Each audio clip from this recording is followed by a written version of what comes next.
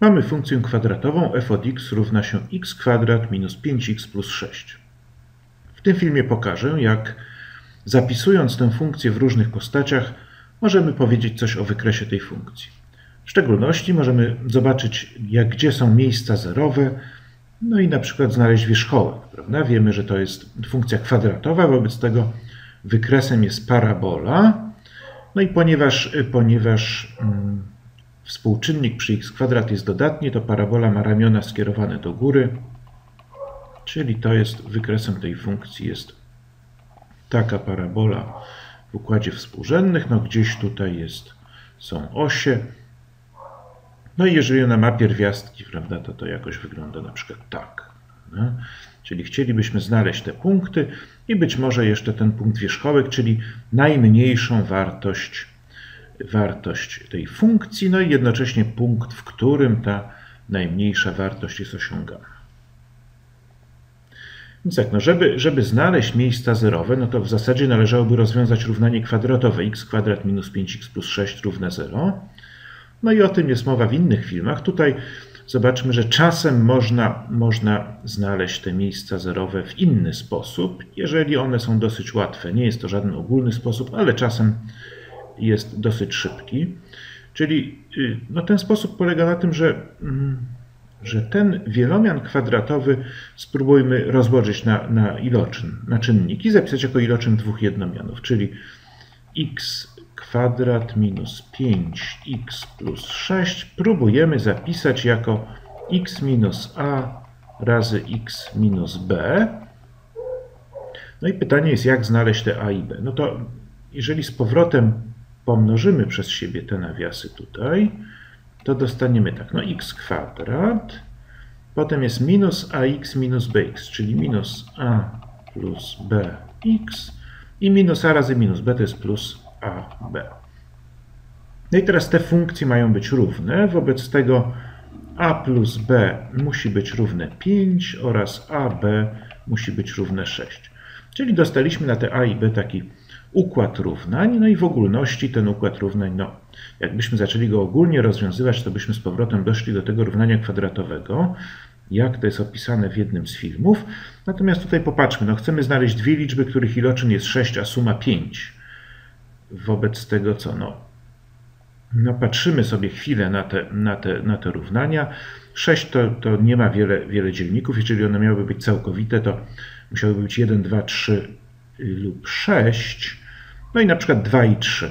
2, a równe 2 i b równe 3 spełniają oba te równania, czyli a równe 2, b równe 3. Wobec tego zapis naszej funkcji kwadratowej w postaci iloczynowej to jest właśnie x minus 2 razy x minus 3. No? Czyli to jest ta sama funkcja zapisana w inny sposób. No i teraz, jeżeli pytamy się, jakie są miejsca zerowe tej funkcji, czyli chcemy rozwiązać równanie f od x równe 0, tak? czyli, czyli to równanie, no to popatrzmy, to jest iloczyn dwóch liczb. No kiedy iloczyn jest 0? No iloczyn jest 0 wtedy, kiedy jedna z tych liczb jest 0. Wystarczy, aby jedna była 0, czyli tutaj mamy dwie możliwości. x minus 2 jest równe 0 lub x minus 3 jest równe 0. Tak? Wobec tego x równe 2 lub x równe 3. No i to są właśnie miejsca zerowe tej naszej funkcji. Może tutaj naszkicujemy ten wykres, co, co już wiemy. Tak? Mm, raz, dwa, trzy. Tak? Czyli mamy, wiemy, że ta parabola przecina oś x w tych dwóch punktach. 2, 3. No dobrze, teraz chcemy znaleźć jej wartość minimalną, czy też w ogóle ten wierzchołek. No to wtedy można to zapisać w trochę innej postaci, używając metody dopełnienia do kwadratu, która polega na tym, na takiej obserwacji może. Gdybyśmy umieli zapisać naszą funkcję w takiej postaci, prawda? no to widać, że to łatwo znaleźć jej minimum, dlatego że tu mamy kwadrat. ten kwadrat jest większy równy 0. Prawda? Czyli, czyli i najmniejszą wartością tego, tego wyrażenia tutaj, tego wyrażenia, najmniejszą wartością tego wyrażenia jest 0. Wobec tego najmniejszą wartością funkcji f od x jest właśnie to q i ono jest osiągane dla jakiego x? No dla takiego, dla którego ten nawias jest 0, czyli dla x równego p. Czyli innymi słowy p i q to są współrzędne wierzchołka. Dobrze, czyli teraz jak możemy znaleźć te, te p i q? Ano, podnieśmy do kwadratu ten nawias, zobaczmy, z powrotem jakby, czyli x kwadrat minus 2px plus p kwadrat plus q. To jest ta nasza funkcja. I teraz porównajmy to z naszą funkcją, którą mamy daną. f od x równa się x kwadrat minus 5x plus, tu zrobię może przerwę, plus 6. Popatrzmy teraz na ten fragment i ten fragment. No widzimy, że te wyrażenia będą takie same, no o ile 2p będzie 5, czyli p równe 5 drugich. Czyli dla p równego 5 drugich x kwadrat minus 5x to jest x kwadrat minus 2px. No i teraz tu mamy p kwadrat, czyli wobec tego mamy 5 drugich, czyli musimy dodać 5 drugich do kwadratu.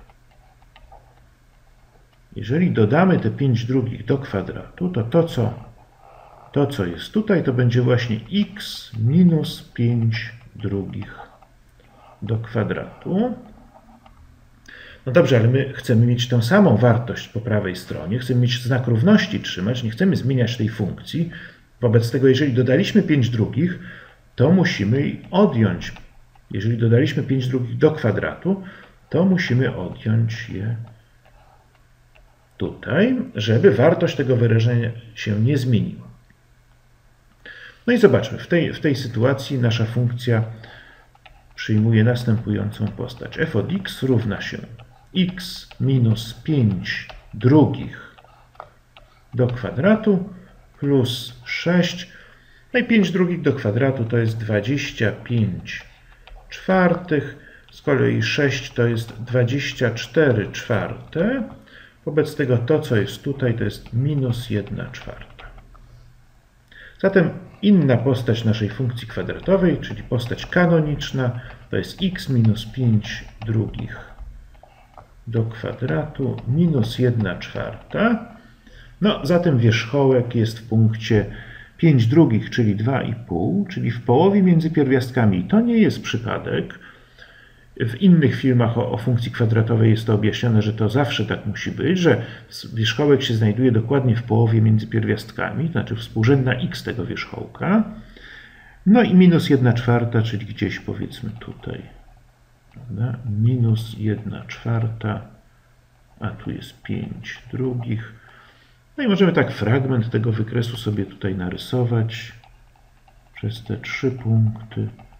No i jakoś tam dalej ta parabola idzie do góry.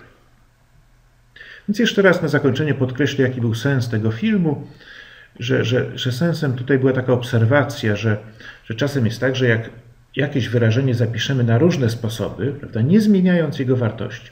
To, to jest to samo, co to. To te różne sposoby mogą być użyte do różnych celów i jakby ujawnić pewne, yy, posłużyć do znalezienia pewnych istotnych cech tej funkcji, których nie widać w, innym, w innej postaci. Na przykład tutaj nie widać, gdzie ta funkcja przecina oś o x, o x, nie widać miejsc zerowych. W postaci iloczynowej te miejsca zerowe są widoczne bezpośrednio. Podobnie, jeżeli nas interesuje wierzchołek tej paraboli, czy też minimum, no to wtedy postać kanoniczna jest do tego najwygodniejsza, bo znowuż widać wyraźnie tutaj, gdzie jest współrzędna wierzchołka, czyli jakie, jakie, gdzie, są, gdzie są współrzędne wierzchołka i jaka jest minimalna wartość tej naszej funkcji.